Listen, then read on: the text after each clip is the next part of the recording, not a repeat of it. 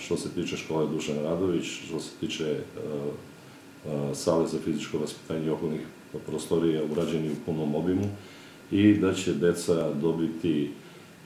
i njihovi nastavnici, odnosno profesori fizičkog vaspitanja, mnogo bolje uslove ovaj, za rad i ova škola će po meni biti atraktivnija i kasnije i za upis učenika koji će imati mnogo bolje uslove za, za bavljanje sportskim aktivnostima u okviru, u okviru školskih aktivnosti. Takođe je Prošle nedelje su stigli rekviziti i inventar, odnosno sportski rekviziti i inventar za istu školu u vrednosti od 500.000 dinara. Najavljen je tehnički prijem radova za 18. januar, sam ove nedelje u, u četvrtak i posle tog datuma, ako bude sve u redu, ako nadzor ovaj, vidi da su radovi obavljeni u punom obimu, tokom sledeće nedelje biće, biće svečano otvorene te